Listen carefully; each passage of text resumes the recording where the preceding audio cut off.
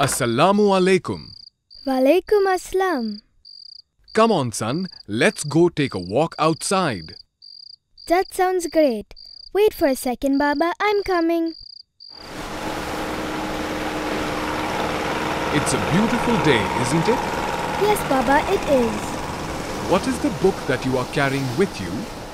Oh, I have my favorite parts of all the Prophet's stories written in it. My friends love these stories at school. MashaAllah, that's wonderful. You are such a good son. Thanks, Baba. So, do you remember the story that I told you yesterday? Of course, Baba, I remember the Prophet's encounter with an angel and the way it changed his life. Inshallah, I will tell you the remaining story of Prophet Muhammad, peace be upon him. Now listen carefully. Bismillah.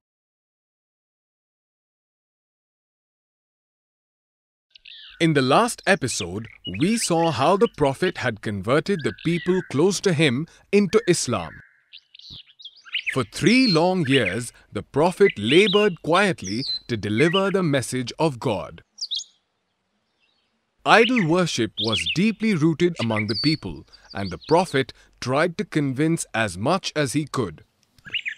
After three years of struggle, he was only able to secure 30 followers. Even his companions had now started questioning his sanity. By now, his enemies had started plotting against the Prophet. The Prophet preached that everyone were equal in front of God, and this challenged the authority of local priests. One day, they gathered together and decided to suppress the movement of Prophet. They decided that each family should take upon themselves the task of stamping out the followers of Islam.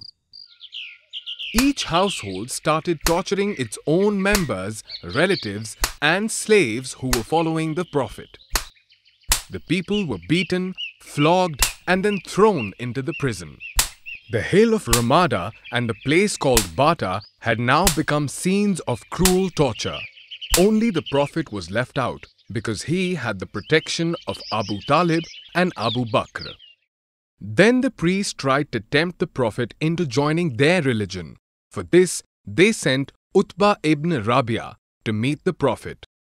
O son of my brother, said the messenger, you are distinguished by your qualities, yet you have denounced our gods. I am here to make a proposition to you. I am listening to you, O son of Walid, said the Prophet. If you are willing to acquire riches, honors, dignity, then we are willing to offer you a fortune larger than what we have among ourselves. We shall make you our chief, and we will consult everything with you. If you desire dominion, then we shall make you our king, said Utbah. When Utbah had finished, the Prophet said, Now listen to me, O father of Walid. I'm listening, replied Utbah. The Prophet recited the first 13 verses of Surah Fussilat. He praised Allah subhanahu wa ta'ala and explained about the glad tidings of paradise to anyone who believed in the one true God.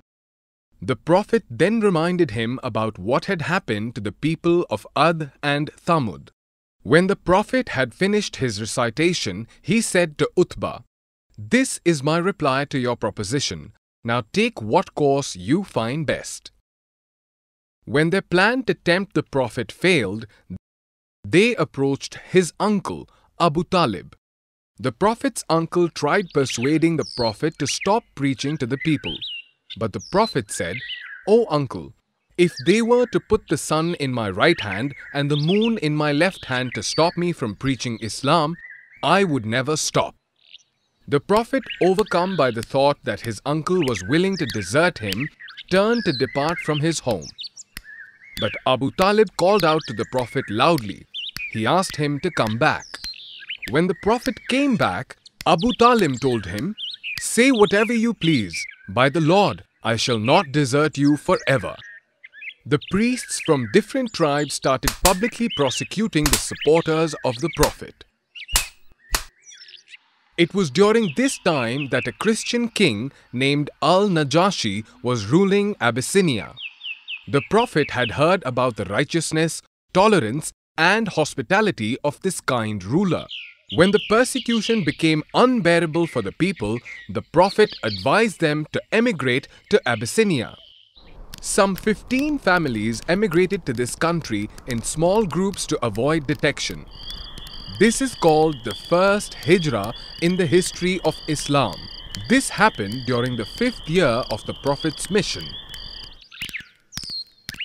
The emigrants received a kind reception from the king and his people.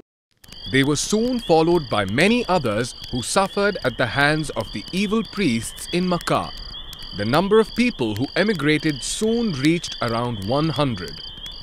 When the priests heard about this, they were furious. They decided not to leave the emigrants in peace.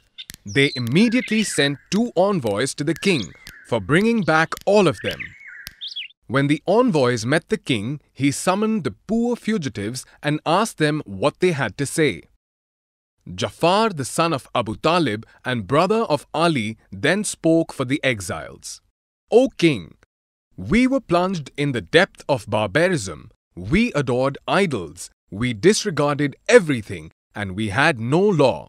Then Allah raised a man among us who was pure and honest. He taught us to worship Allah and forbade us from worshipping the idols. He taught us to speak the truth and to be faithful.